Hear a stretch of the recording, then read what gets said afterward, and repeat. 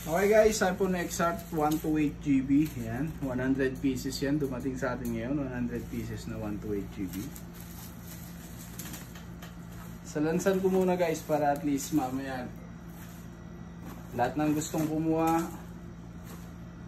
ah meron na. Okay, available color natin, yellow. Yellow. Coral.